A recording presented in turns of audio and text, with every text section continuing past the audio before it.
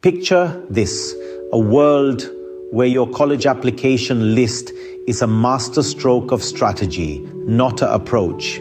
Start by identifying your dream colleges, the ones that push your boundaries. They're your reach schools, challenging but full of potential.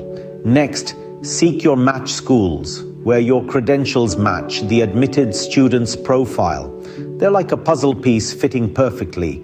Finally, your safety schools, colleges where you exceed their admission standards.